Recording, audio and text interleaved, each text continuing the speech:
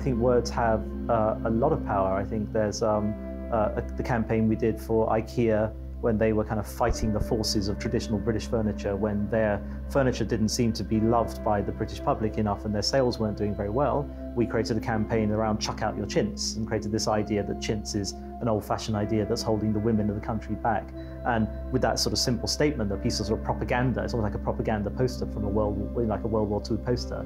I think that helped really uh, gave a sharp edge to this campaign and really helped its success.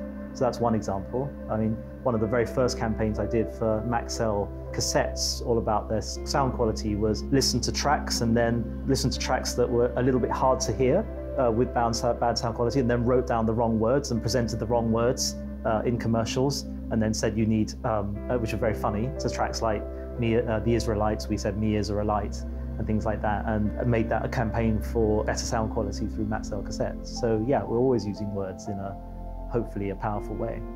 I do have an approach to what I do. I always start from the assumption that no one's interested. So first you've actually got to make uh, it interesting by putting something genuinely new in their lives. And then um, I think it's got to be something that actually is really well resolved. It's actually got something that they will find attractive or entertaining. So I think it's got to have some purpose and I think it's got to have some sort of grace to it. And that's what we always try and do with our work.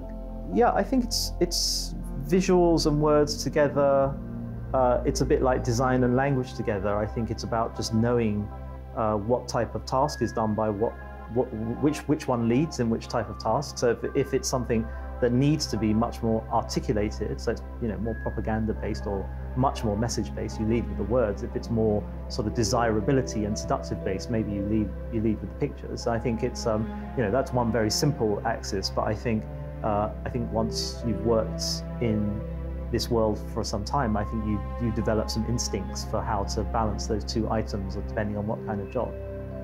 Yeah, the mantra that underscores all the work that uh, I do and I do with the team, it's always about having something disruptive about the work and having something attractive about the work.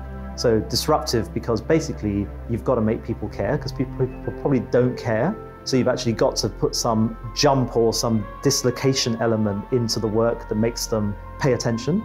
And then I think being attractive is once they pay attention, they actually go with you and they like it and they find it a little bit seductive or pleasing. And so I think it's both those things that makes a great piece of communication, whether, uh, you know, moving communication or print or digital, I think it needs a combination of those two things to make it, uh, um, you know, give it a little bit of anarchy and then give it, give it some dignity as well.